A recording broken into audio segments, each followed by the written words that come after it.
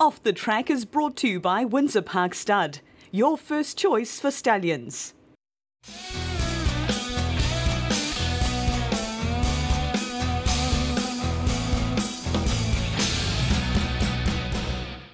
Hi and welcome to Off the Track, back for another season. My thanks to Windsor Park Stud and of course as we mentioned uh, last season, Master Craftsman. And geez, on his way, isn't he, up there in the Northern Hemisphere doing a job. We can't wait to the new season here too, when the progeny of Master Craftsman become two. Well, our first guest, as I said in the promos for the show, has never looked better.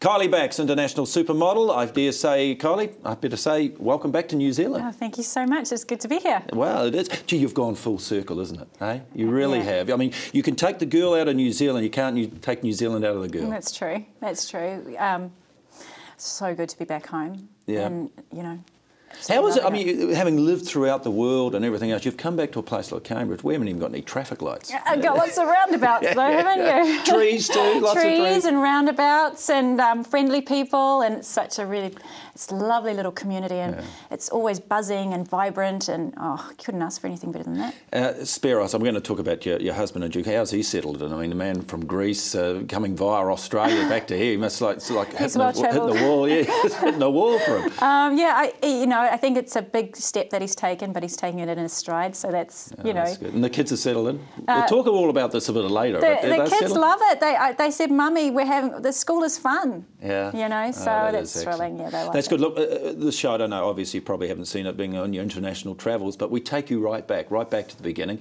Uh, and as everybody's probably aware, you were born in Thames. Yes. Thames Hospital? I believe so. Yeah.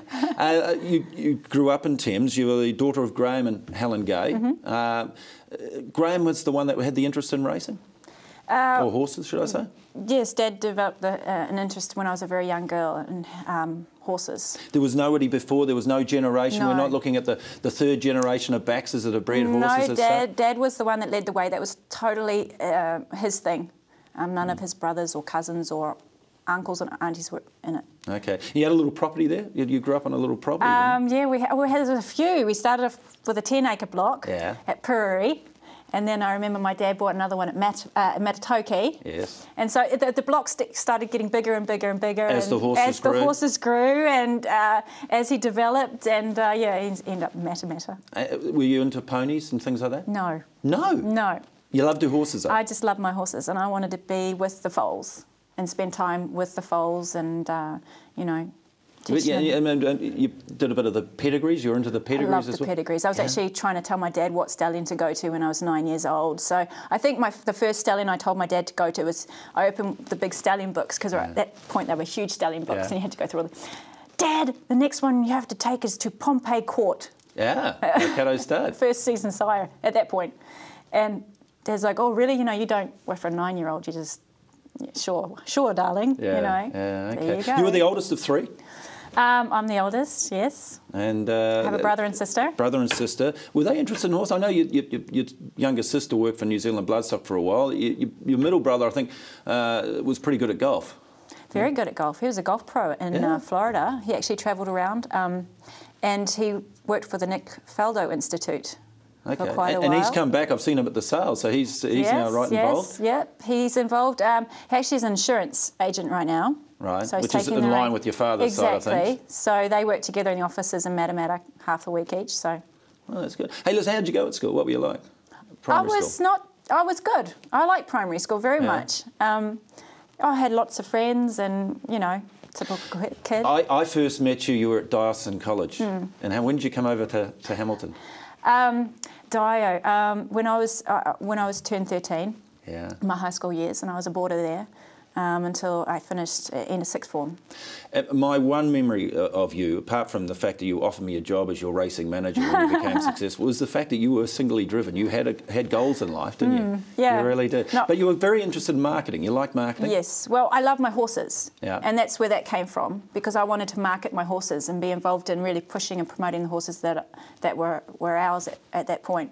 And um, yeah, I was enthralled by the the bloodstock agents, and uh, that they get to go around with horses all the time and inspect horses, and you know just deal in horses, and that's Yeah, I should have taken you up on that job. I reckon I should have taken the job. never too late. Never too Yeah, late. never too late. Hey, listen, there's an opportunity always. Hey, listen, uh, in terms of that marketing, I, I had a chat to uh, our sponsor, uh, Windsor Park, or Nelson, Nelson. Schick, actually, from, uh, and he tells me that you sent out, or got them to send out, a photo of you holding a, a yearling that was coming up for the sales under their draft and Yes. send it out some of their bigger clients. That was my first marketing promo. I- I remember what I was wearing and everything. I was wearing a red t-shirt and and you know jeans, blue Yeah. powder blue jeans, really trendy at the time with shoulder pads, I believe.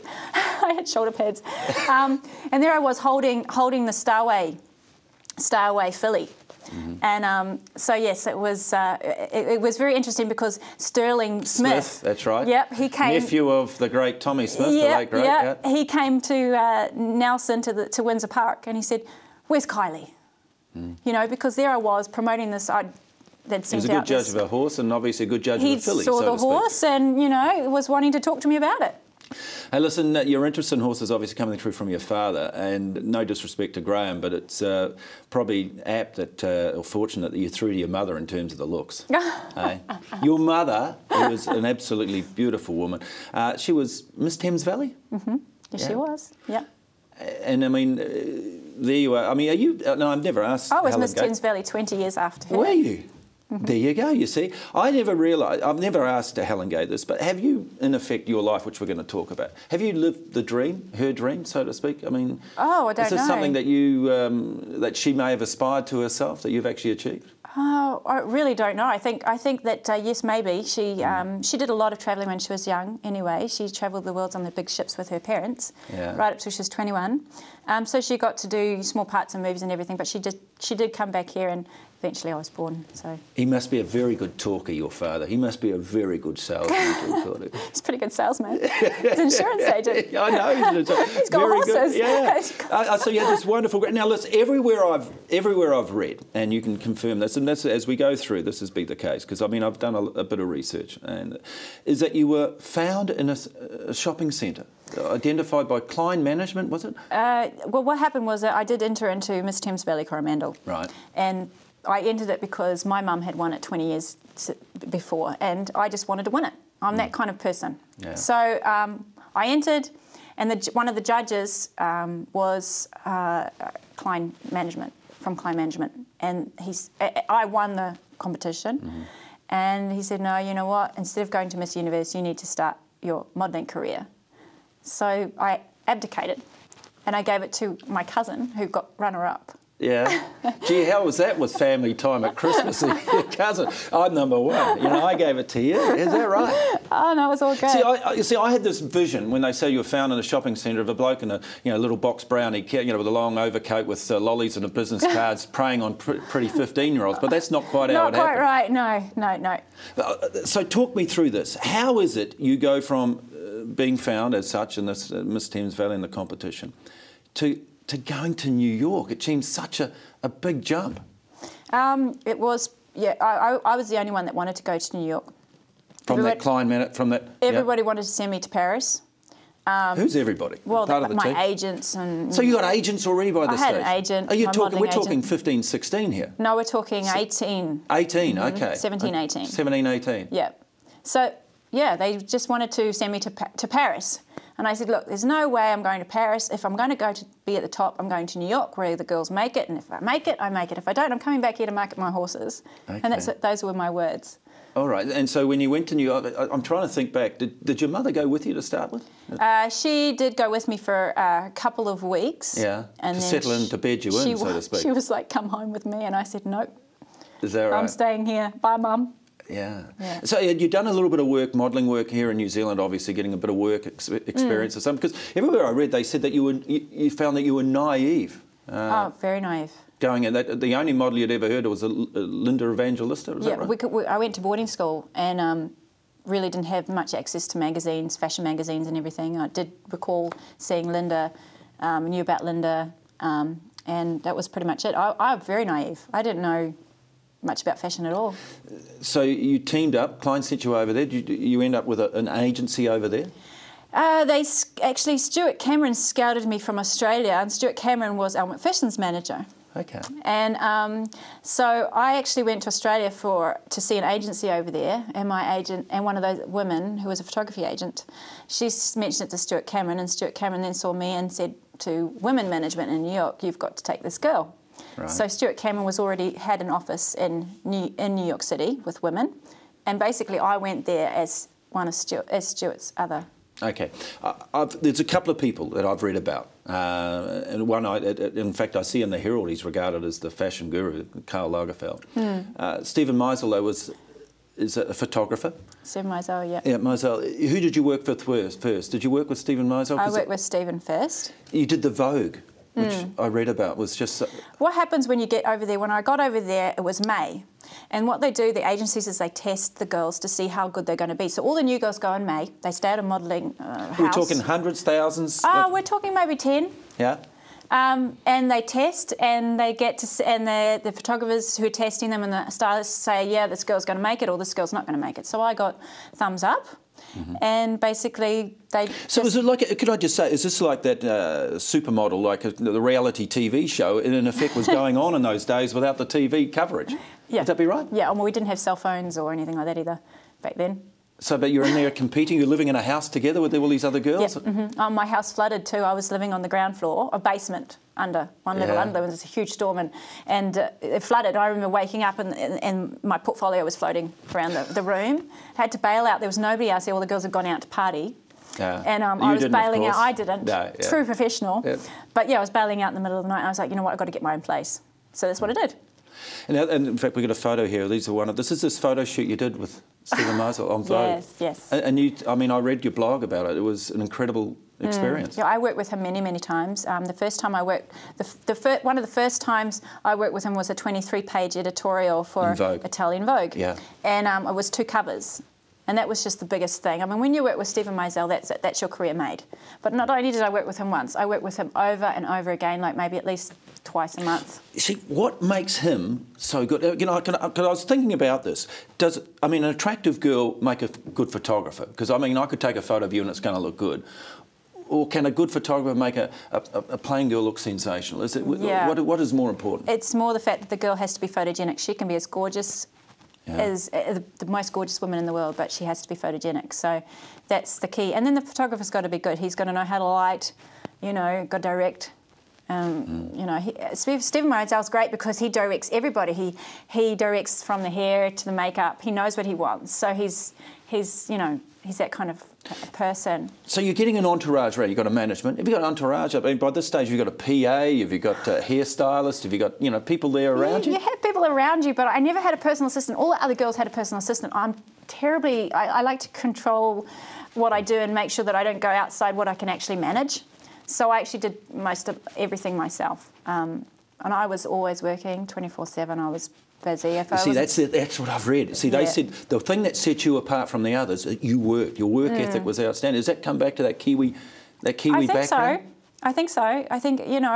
I've, I'm, I left New Zealand. I have to make it in New York. What am I going to do? I'm here in New York now. Working, working, working. There is no th- such thing as failure. I mean, the covers. I mean, they are immense. The, the, the different ones that you have done: Vogue, Marie Claire, Harper's Bazaar, Vanity Fair, Elle. I mean, I could go on and on and on. I mean, that's remarkable, isn't it? Yeah, I think I think out of all of those that you just named, I think the most was was Vogue. I've done quite a few Vogue covers, Yeah. all over. In terms of getting on Vogue, I mean, the money's coming in. Okay, who was assisting in that side of things? Because I did see an interview where you see every supermodel, every model should be thinking of that end day. They should be working towards that final day.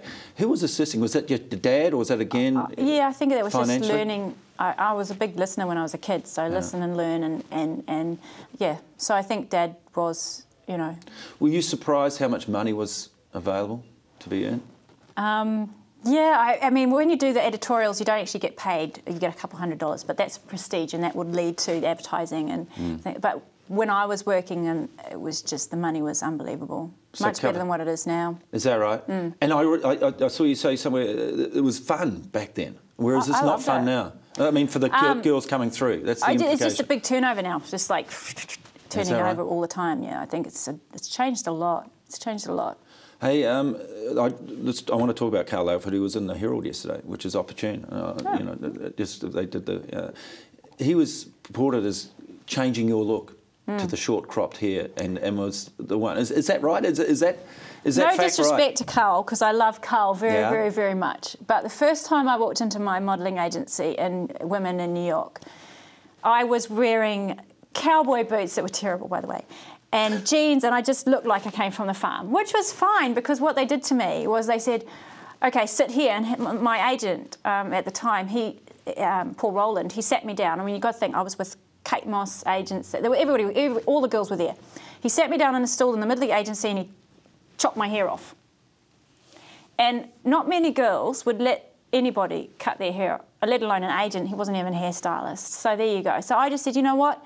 I'm here. I'm here to make it big. You do what you think that get me to that next level. And so that's. So, so was Carl or not? Or it, it, was my agent who chopped my hair off first, and it was yeah. Steven Meisel who coloured my hair white, who made me go to the salon, Garren Salon in New York. Okay. And Garren took me. He cut it to his style. I mean, Garren's top in the world, and he he, he coloured my hair. They had my hair coloured. So you became uh, there was perfumes, um, happy, happy, happy, Clinique happy, uh, massive income off the. I mean, is it? I mean, I, I don't want to ask. It's, I mean, save just, the pennies. I have to save, save the, the pennies, pennies. Yeah. Because things and and how many years? I mean, is there a life expectancy? I mean, those sort of things. I mean, oh, there's there is there's a life expect, expectancy. You have to plan for the future about what you want to do. I mean, I don't think I always wanted to be a model all the time for mm-hmm. the rest of my life. I did want to have anything, the horses and everything outside of that. So, yeah. Yeah, um, because I mean, progress. Is there, is there a situation where you did you go to a photo shoot where you said, "Look, I'm not just not going to do that," or did you just oh, go with everything? I'm not doing that. Um, you know? No, no. I mean, there's of course there's one or two scenarios where you're like, oh gosh, do I have to do that? Yeah. Um, but you do it. That's your yeah. job, and and catwalk stuff. Did that? All of that. Many, many shows, many shows. Gucci, Versace, Prada. I did all the shows. I remember that you had conjunctivitis. oh my gosh! I remember reading about this. That, you know, this is horribly I, I, painful. Yeah. And and it, it, was so bad because nobody diagnosed me with it. The French doctors didn't know what was going mm. on until. But yes, I did the runway show. Um, Fabrizio Ferri. I did his his runway show with sunglasses, big big sunglasses on, because um, I was just in horrible pain. It was just, uh, you know, terrible. Oh, well. But I worked through it. You did work through it. Attitude. She loves working. well, uh, ladies and gentlemen, our guest today is uh, Kylie Bax. We're going to take a break here on Off the Track and we'll continue on the life and times of international supermodel Kylie Bax.